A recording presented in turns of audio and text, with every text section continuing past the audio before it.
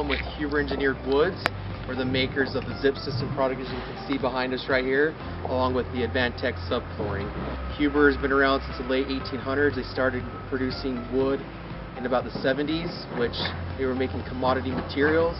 In about the early 90s, they wanted to set themselves apart by making performance engineered materials, and that's where they made the Advantech subflooring, where it's a better material as far as being moisture resistant and providing customers with a lifetime warranty on subflooring in addition to that, they went ahead and started making the zip system material, which is the green sheeting material you see behind me.